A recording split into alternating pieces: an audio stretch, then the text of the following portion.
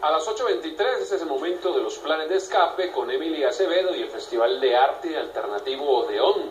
Es una de las semanas del arte que se realiza en la capital. Emily, ¿esto por qué es tan importante? Buenas noches. Buenas noches, Jonathan. Pues efectivamente esta feria es diferente porque a diferencia de las otras que se están realizando esta semana en la capital del país, esta le brinda la oportunidad a artistas emergentes de mostrar sus nuevas creaciones. Inició Odeón y se unió al Mes del Arte en Bogotá.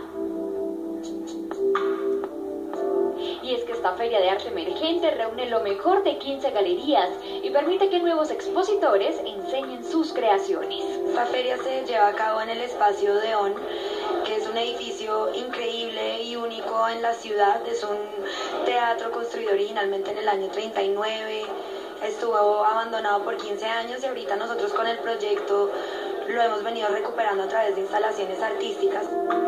Muchas son las obras interesantes que podemos encontrar en la Feria de Arte Odeón, como esta del artista brasileño Marlon de Azampuja, en donde mil bombillos de concreto conectados transmiten electricidad para encender los bombillos de la cima.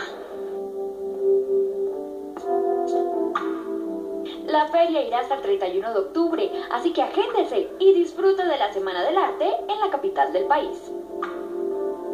Obra es como una reflexión alrededor de la lectura, eh, de los procesos que implica leer, que es sustraer información, digerirla y el, cómo esa información que sacamos de la lectura empieza a ser parte pues como de nosotros.